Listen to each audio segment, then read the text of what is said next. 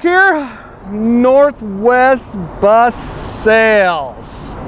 Appreciate your time checking us out. All right, Jackie behind the camera, as always, doing a fantastic job. All right, get a load of this D coach we got here. MCI 2004 MCI D4500. 50, 53 passengers, pay no mind to that uh, pop-off valve there. 53 passengers, two wheelchair capacity. This thing's got fresh paint on it too, doesn't it, Jack? 2004, let's check her out inside. I love the D coach, one of my faves. This is a good utility coach for MCI. Look, dude, look at all these Ds we got right here. Give them a shot, Jackie. That 4505 with the cat eye front end. Oh, look at those. 4500s, transit style entry door. Right back around. All right, all right, let's go inside. Come on, Jack. You got the trifecta of grab bars coming in right here. Step treads looking pretty good.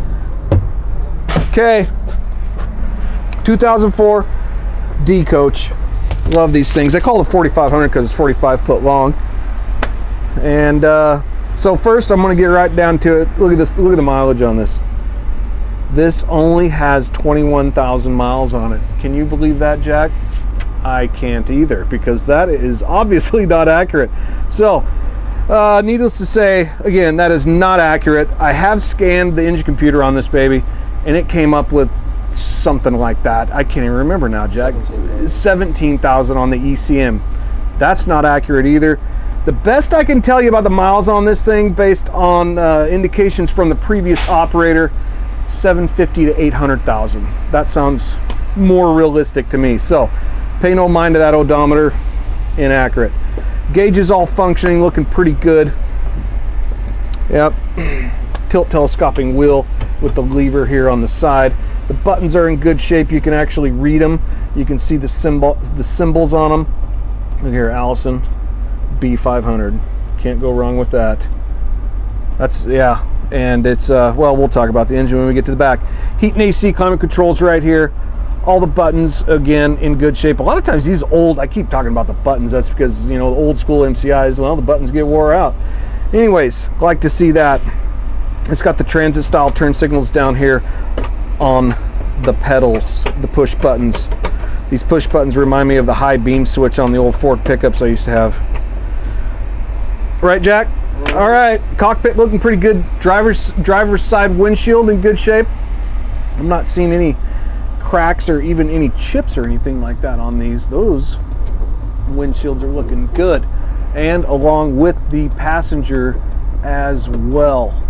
Windshield in good shape. Got pull down sun sunshades here. Look at that. Look at that side view window. A little bit of fogging on this dual dual pane ticket window right here. See that? All right, power mirrors. Okay, let's cruise through the inside here.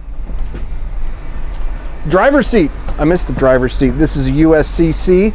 Driver seat upholstery in pretty good shape. A little bit of sun fading. I'm not seeing any rips or tears or anything like that. Air ride driver's seat does have the buttons here for lumbar, thoracic, and cervical support. I don't know. I just made that up, but it does have some some lumbar support there.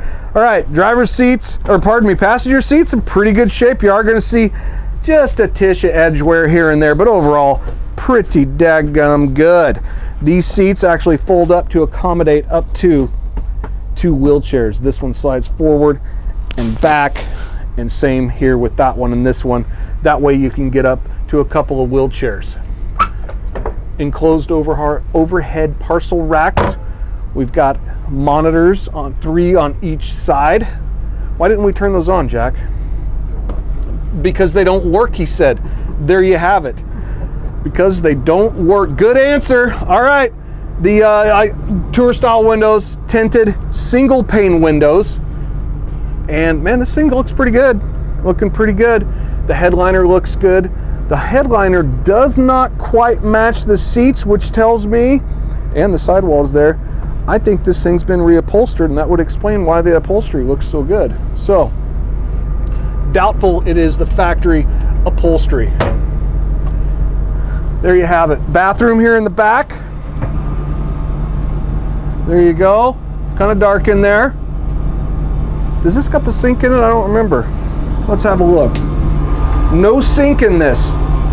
does have a vanity mirror, so that's good. And then you have a hasp here that can also be used to lock up unruly passengers. I do I do not recommend that. Anyways, so floor feels pretty good. I do recall feeling a little bit of a soft floor back here, Jack. So these older D coaches, they were kind of known for that it, as time went on. It's not bad, but just trying to shoot you straight here, I do feel a little action above the rear drive axle. So looking pretty good. All the passenger glass is in good shape. Headliner looks good. Front and rear um, emergency roof hatches. Like I said, not one, but two of your favorite wheelchairs right here and over here. So there you have it. You got map pockets down here. Let's cruise around outside. That's enough with the interior, right? Is, is the video system up here or is it not even present?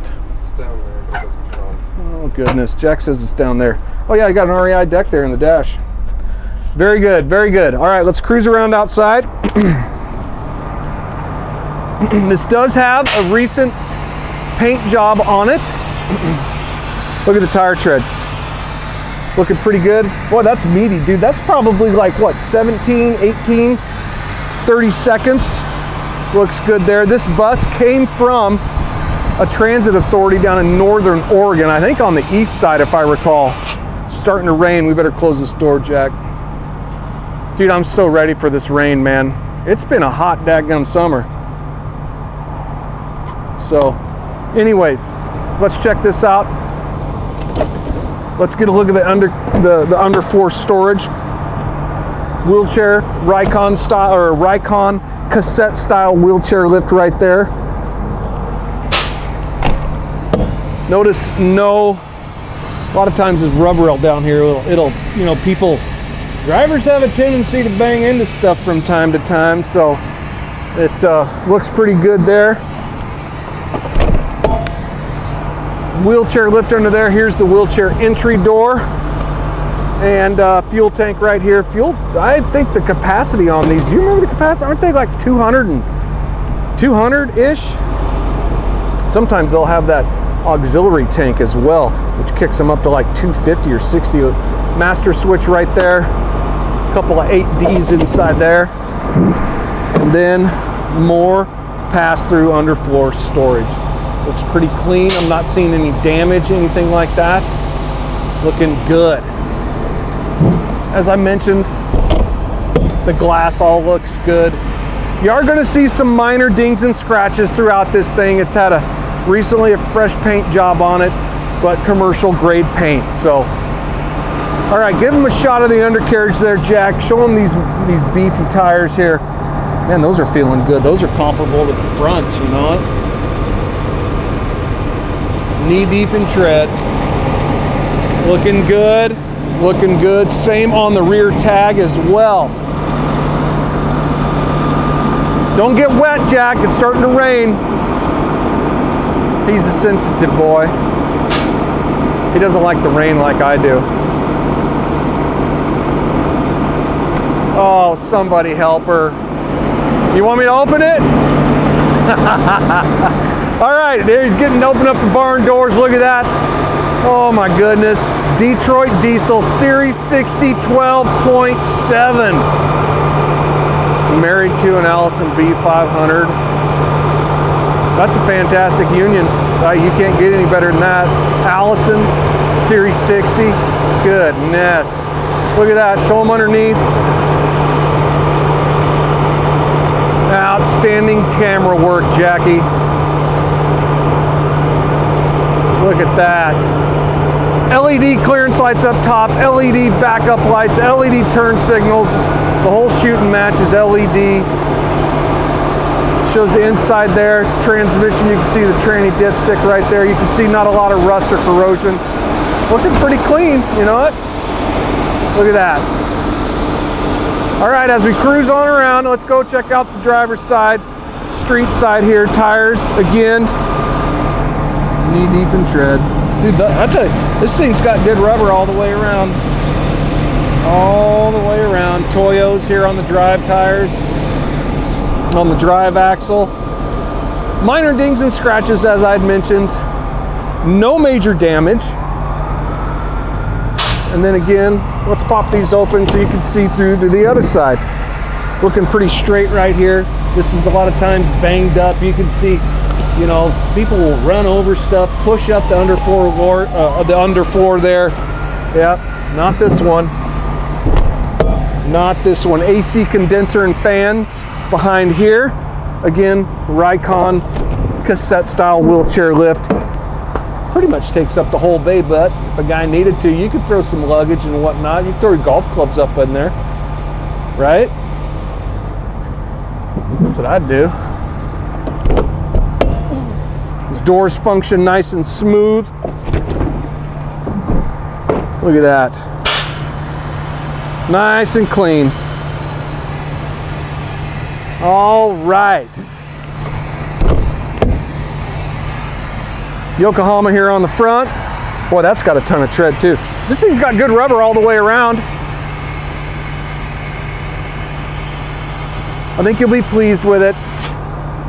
This will work great for, you know, private school, a church, you know, tour and charter outfit, right? So, all right, I'll, I'll just wrap it up with that.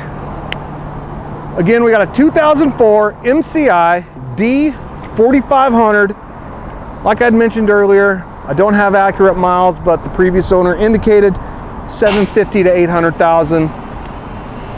Allison B500, Detroit Diesel Series 60 12.7. Jack's getting all sided. Look at him. He's, he just can't stand himself, you guys. So, appreciate your time checking us out. Give us a look online, nwbus.com. Give us a call with any questions, 800 231 7099. Thanks.